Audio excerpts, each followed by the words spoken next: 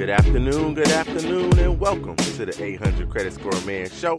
I am your host, Kevin King. He is I, and I am him, the 800 Credit Score Man himself. And once again, thank each and every one of you for coming in and listening to the 800 Credit Score Man Show. I truly, truly appreciate it. So let's, what's up, you guys?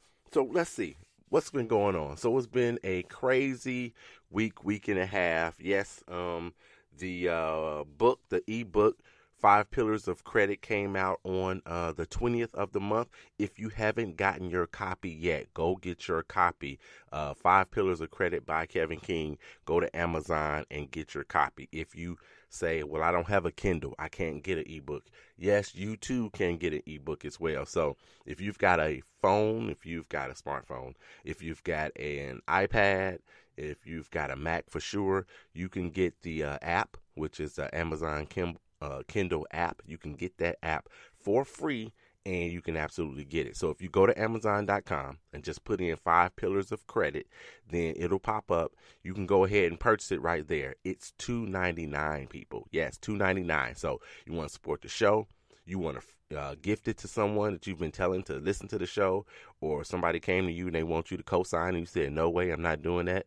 Um, you know somebody's having some struggles with their uh, credit or what have you. You can also gift this book to them as well, um, right there. So you go into um, Amazon.com. You can do it. It it will search your device. So whatever you're using It'll search your device to see if you have a way to read it right now. If you don't, then it'll give you a suggestion. And that suggestion, most likely, probably 100% of the time, is going to be Amazon Kindle that you can get for free from your app store. So make sure you go get it. I know all of you haven't gotten it. Maybe you forgot about it. Maybe forgot about that the book was out, but it is. It has been the number one new release in education um, since it launched. So since March the 20th, it's been the number one uh, book in uh, number one new release in education at least and one other category since it launched. So go out and get yours. Make sure you tell all your friends, tell all your family. Go get this um, ebook, Five Pillars of Credit by Kevin King. You guys do that for me. I appreciate it. So, what are we going to talk about today? Today we're going to um, talk about financing. Um, if I've, I've, told you uh, plenty of times that um, if a subject continues to come up um, during the week or between times that I'm on the air, then I may just go ahead and and and do a show around that particular subject. So, for whatever reason, this week a lot of conversation has been going on around financing and refinancing of vehicles. So, we're going to discuss that today. If you don't think this applies to you, you should listen anyway. Continue to listen. You never know what little pearl I might drop in here. If you say, Well, I have bought and sold and traded in 12 cars, I don't need any help in this particular uh, scenario or this particular situation, and you want to tune off, don't tune out because you may find something. Um, of education for you, or maybe something to pass on to somebody else. So we're going to discuss that um, a little bit today, and we've got a really good um, question of the day as well. Uh, they contacted me through Twitter. They did, a, you know, DM through Twitter, so you can contact me too if you've got questions, and of course I'll answer your question, and it may hit the air. So you can contact me on Twitter at credit score underscore man on Twitter.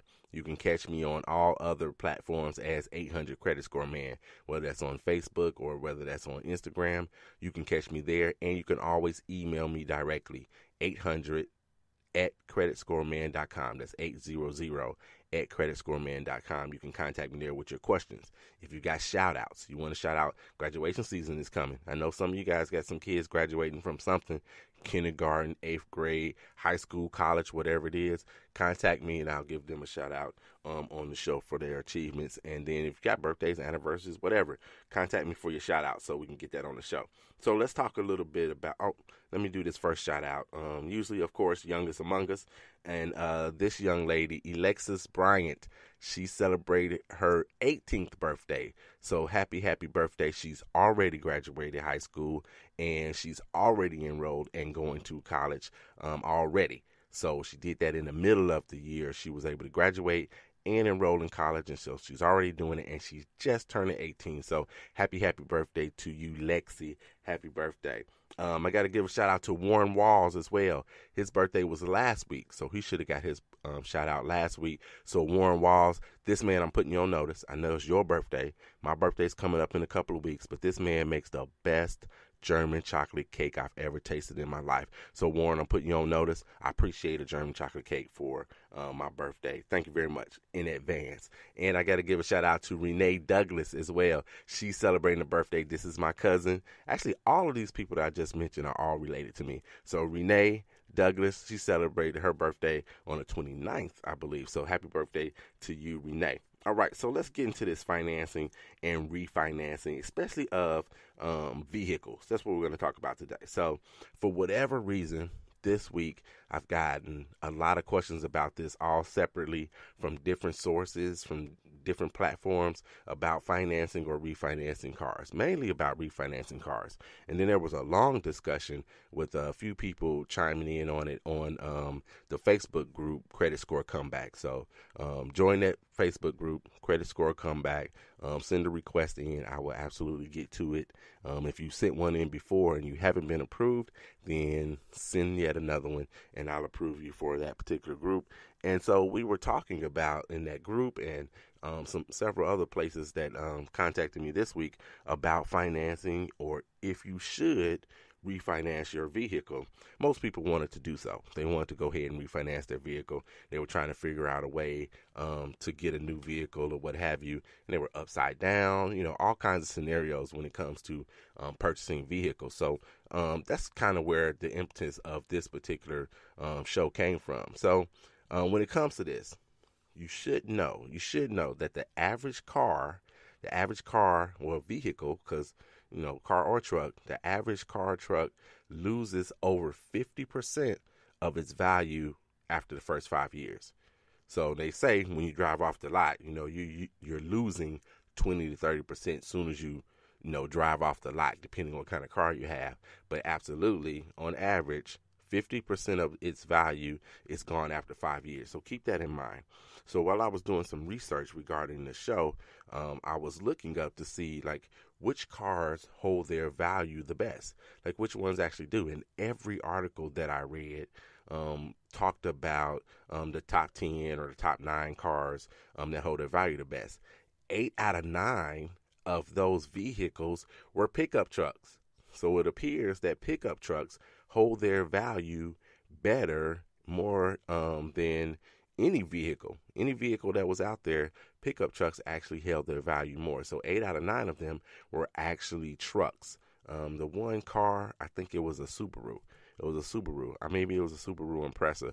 Was the one car, and this was consistent across um, my research. So keep that in mind as well when you're doing so. So let's talk about um, how this whole thing goes down and if you should finance or refinance your vehicle. So um, let's talk about this part first. So let's talk about how if you go in to a car dealership and you want to trade your car, what happens? How does this work? So if you go in and let's say, and most of the time, you're upside down. Upside down meaning that you owe more on the car than the car happens to be worth that makes you upside down. This puts you in a precarious in a precarious situation regardless of what your credit score is. This is something that um, often we all would deal with at some point in time. So let's say you owe ten thousand dollars, and I'm not going to kill you with numbers today because I know some of you need to get like a pen and a pencil and a piece of paper to write stuff down so you can keep up with the numbers. So, um, you know, like your teacher used to tell you, show your work. I'm not going to make you show your work today. Just go ahead and you can listen. So it says if you owe ten thousand dollars on a vehicle, here's how it works. Works if you're upside down. You owe ten grand, but your trade-in value happens to be seven thousand dollars. Now that doesn't necessarily mean that your car is only worth seven thousand dollars. That just means that's all they're willing to give you for it. If you were to go sell it privately to you know, Joe Blow on the street or one of your relatives or whatever, you might be able to get more money out of it. But let's say, you know, you owe 10 grand for this particular example and the trade-in value that they're going to give you is 7000 they know they can get nine for it but they've got to make some money right? So so this is what they're offering you for your vehicle. That means it's $3000 left. There's the difference. 10000 minus the 7 there's $3000 left. Now that $3000 is not forgiven so what's supposed to happen? What's supposed to happen with that with that three thousand dollars? It's got to go somewhere, right? So you've got to pay. You're responsible for that leftover money, that three thousand dollars. So typically, if you go ahead and trade your vehicle in, you get a new car. What they'll do is they'll tack it, that three thousand dollars onto your new loan and your new vehicle. So here's how you run into you know issues sometimes. So if you go and buy say a $25,000 car and you add that $3,000 to it, so now you're financing that $3,000 rollover if you will from the last vehicle that you had. So now your loan isn't $25,000 and we're not talking about taxes and fees and title and all that stuff. But if it's $25,000 and you add that 3 grand, your loan is not for 25, it's for $28,000. And then that's what you're financing. So then let's say what happens. So you get this $25,000 car and you got to add 3 grand to it, it's 28 let's say your car isn't necessarily worth the new car isn't necessarily worth that $28,000. So, let's say the bank says that the vehicle you're you're buying is actually worth $26,000. So there's a difference in there. Your loan should be $28,000 and the bank is saying we are willing to finance $26,000 on this vehicle. The bank already knows that as soon as you drive off the lot, the vehicle is going to drop in value from this 26,000 to say 24,000 as soon as you drive off. So they're already taking you know that into consideration, but they're saying your vehicle is worth 26 or they'll pay 26 for it. But you owe because of that $3,000 trade-in um, difference, you owe 28. So this $2,000, this is often when they come and ask what's up with your down payment? Are you going to give any money in down payment? We need a down payment because the bank is only willing to finance 26. You got $28,000 worth of car and financing that you need and you'll need that $2,000 as a down payment. That happens often. That happens when you're upside down and you go in. So now you know exactly how that particular thing works. Now let's while I'm thinking of this and thinking about negotiating and talking about, you know, how much you're going to pay for this car when you walk on the lot. When I told you before, you know, don't let them know what your financing is and all those kinds of things, how much you want your payment to be and all that stuff. Don't come telling them that up front when they come and ask you. Same thing here when it comes to down payment. When they're walking around with you, they're asking you all these questions.